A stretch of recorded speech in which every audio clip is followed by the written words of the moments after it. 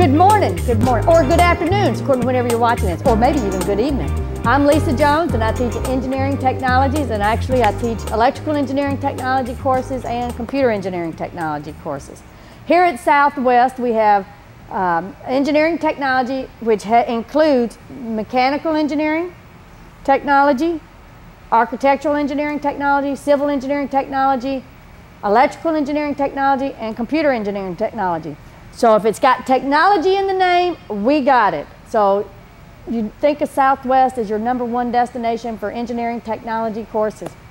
And what I want to talk to y'all about today is the opportunity that a high school students have of taking our courses and getting a technical certificate in engineering technology. And each one of the programs that I just mentioned has a certificate program. And that certificate program has five or six courses and I'm most familiar with the electrical and the computer engineering technology certificate programs. And a lot of you might say, well, I don't even know what technology is. Technology is all around us. You know, you got your cell phone, you got your computer, all that stuff. That's all technology, of course. Everybody knows that. Technology applies to almost every job out there. So even if you don't go into engineering technology, when you knowledge that you get from the technical certificate program will apply to whatever job you get. When I go to McDonald's for lunch and order my hamburger, the person at the at the uh, counter, they're punching in the number. Guess what they're using to punch in my order? A computer. And guess what helps know how that computer works? Engineering technology courses.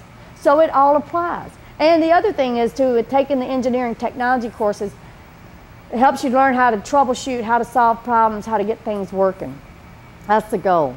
But just to give you a level and to put it in terms that maybe you can relate to a little better, is uh, if you're a, a, scientist, like a physicist or a chemist, but a physicist in particular.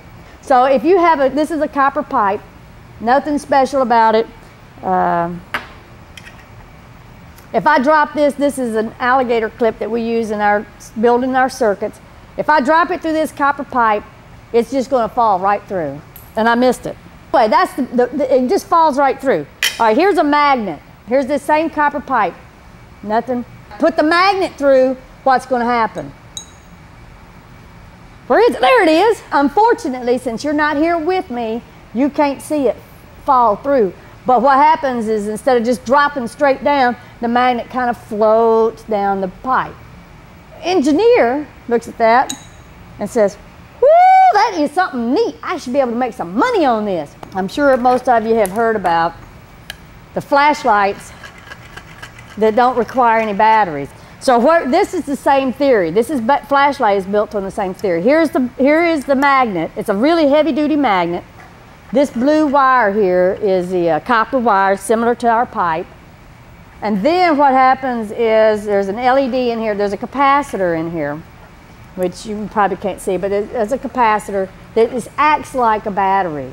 So it stores up charge. So as I'm moving the magnet back and forth, it's generating current, building up charge on the capacitor. And then we have a flashlight. Now this isn't the best flashlight. I'd hate to have to be in a cave and depend on this light, but it does work and it is a flashlight. And this actually has quite a bit of, of engineering principles scientific principles using it, and it's a good example of showing the levels of expertise needed. You have to understand the concept, you know, and for instance, in engineering, we might get into the capacitor, the equation for how the capacitor charges up and stuff.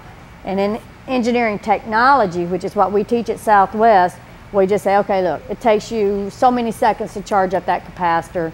And that's just get the idea that the capacitor stores charge and then it discharges as you, as, as you burn the light. And now the technical certificate doesn't have, we have an introductory math class that all the technical certificates uh, take. And in fact, that's usually the first course that we have the high school students take. And it's really not hard math, but it gives you the, the basic fundamentals that you need for all your other technology courses. And it's actually a lot of review of your high school math. So to wrap this all up, how many courses for technical certificate? Good, it's six courses for technical certificate and four or five of them will apply directly toward your associate's degree. And with all of that, to wrap this all up now, if you have any questions, come see me at Southwest. I'm Lisa Jones, Engineering Technology, in the Fulton building. And I want to see you soon at Southwest because Southwest is your best choice.